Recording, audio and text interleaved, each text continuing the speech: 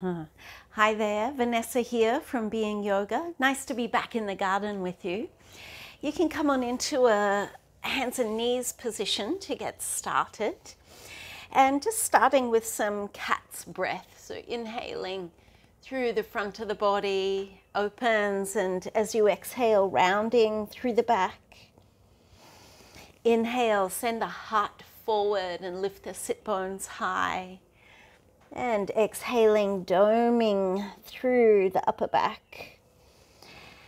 And you can continue like this, or if you'd like to, start to create a, a wave like motion. So maybe rocking the hips back and creating that doming as you come forward, and the inhale, sending the hips back and the chest forward.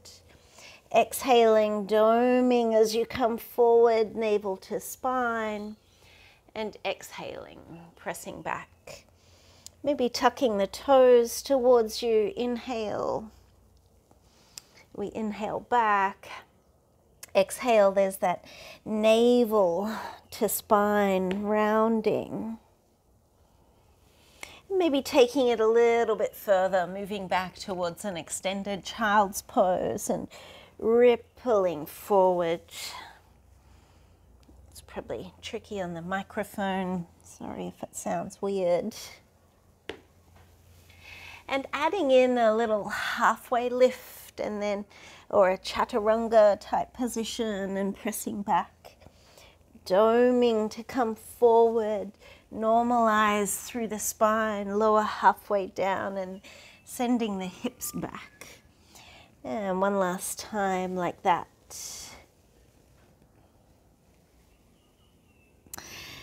And then making your way towards the hands and knees. I like to bring the left leg underneath so that there's stability there. And then working with the breath still. So inhale to send the leg back and exhaling, coiling Inhale, send the leg back. Keep the leg lifted here and taking a few push up type positions. So exhaling down, inhale to lift, tone the belly. And if you want more work, focus on lifting that leg higher. Doing this three, maybe five times. And then lift up onto fingertips. We'll get off our wrists for a moment, maybe straightening through the back leg as well. Hands into namaste. Inhale, interlace the fingers, lift the elbows high. Exhale to press the palms away. Inhale the arms all the way up overhead. And then releasing and lowering that back knee back onto the earth and stretching the right leg back. So now exhaling, right knee to the right shoulder. Inhaling to open and send the leg back and looking over to the left. And then right knee to shoulder and over. Great. And last one.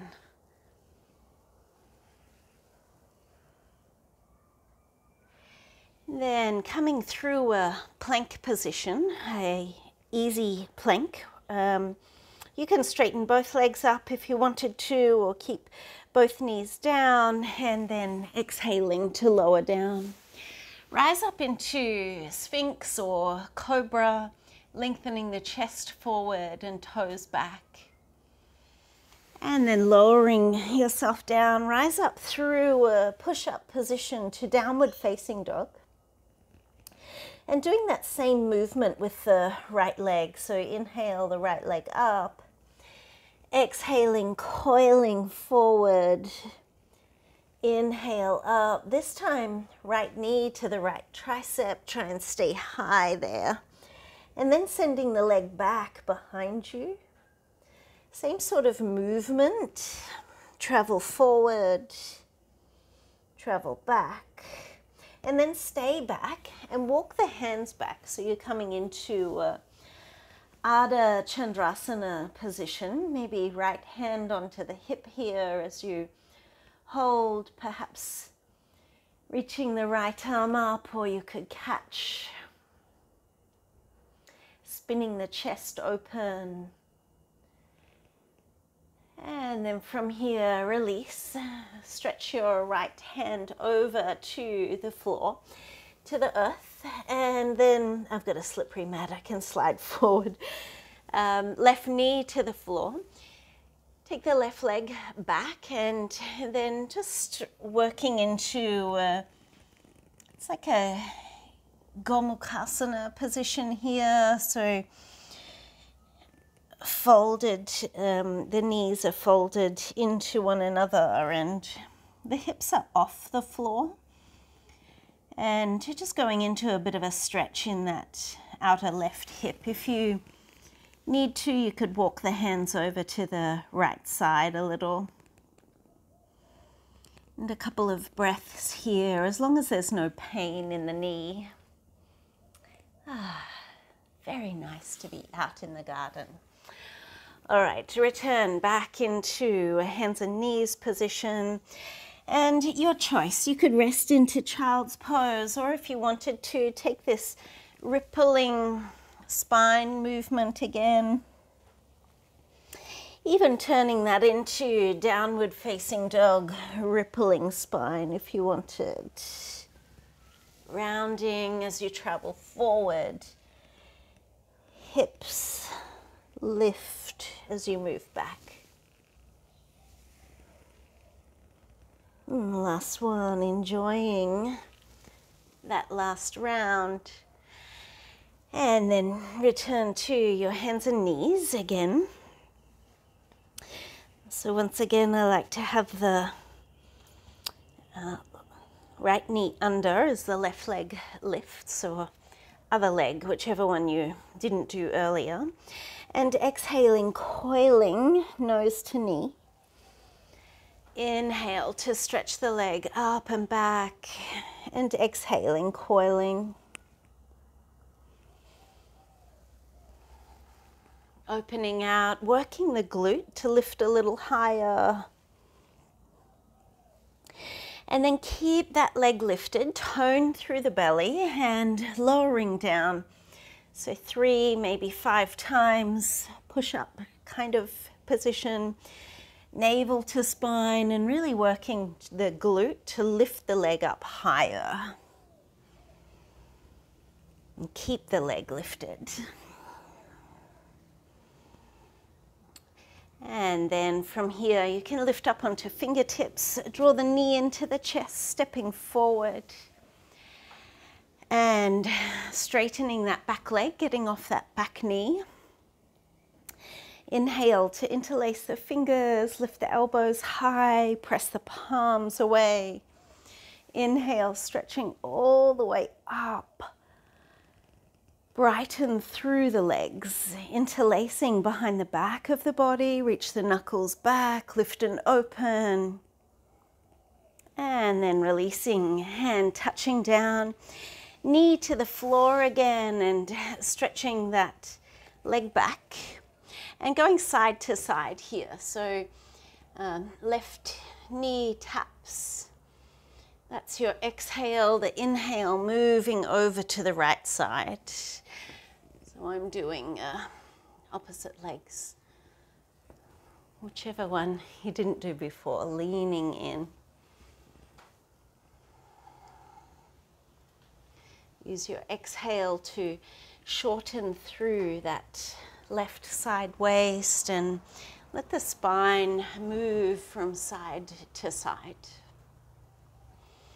Great. Okay, send the leg back. Pause. Either full plank or a half plank position. Lift as you lower yourself down. Find a back bend. It could just be your connecting vinyasa if you like. Exhaling to lower.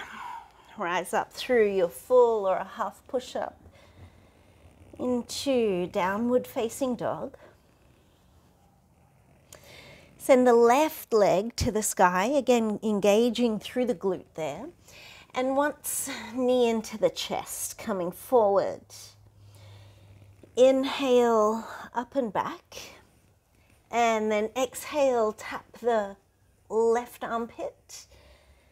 Inhale, stretch the leg back, and like we did on hands and knees, try and take it over to the right side. And again, tap and opening out. And keep that open position.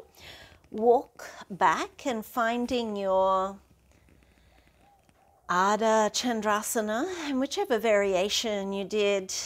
So as you walk back, you want to make sure that most of the weight is on the right foot and that the fingers are just there for balance and support.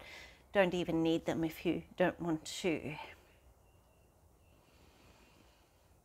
And then release walking forward once again and bringing the back knee down onto the earth. Cross the leg over behind like we did previously, um, but this time bending the knees and coming into this Gomukhasana position. So you could maybe walk the elbows over to the left side a little here. You're looking for a stretch in that outer left hip. Uh, would you believe it's an outer right hip stretch? Who'd have thought? You can utilize your breath and just let go, melt and soften.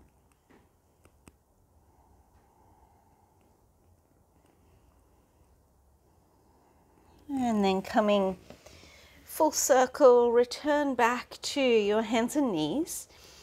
And choosing either this rippling hands and knees position or your rippling down dog shape.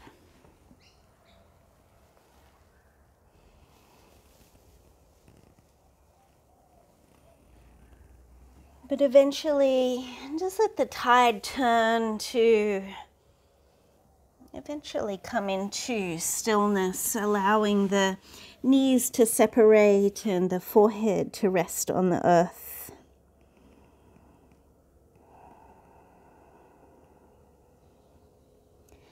And you could finish the practice here, or if you'd like to continue on on your own, I'd highly recommend a spinal twist before Shavasana.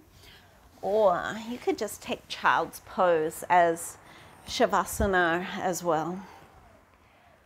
Thank you so much for your practice. Good on you. Namaste.